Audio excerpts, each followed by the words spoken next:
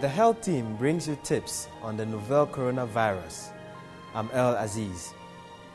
The 2019 novel coronavirus disease is a respiratory illness caused by the 2019 NCOV, a new strain from a family of viruses known as the coronaviruses. How does this virus spread? For a highly infectious disease as this one, person to person spread occurs mainly through respiratory droplets produced when an infected person coughs or sneezes.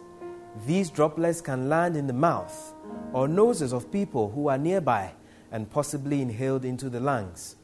Symptoms of infection include fever, cough, shortness of breath, breathing difficulties, pneumonia in severe cases, and severe acute respiratory syndrome. Kidney failure and death can even occur. How can infections be prevented?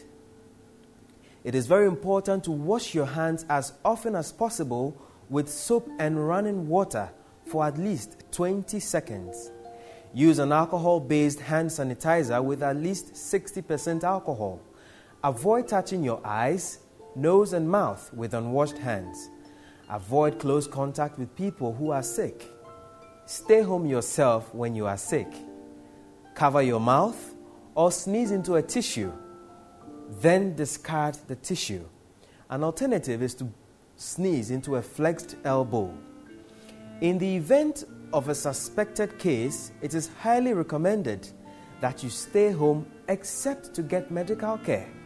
Separate yourself from other people in your home. It is very important to wear a face mask during this time and cover your coughs and sneezes as well.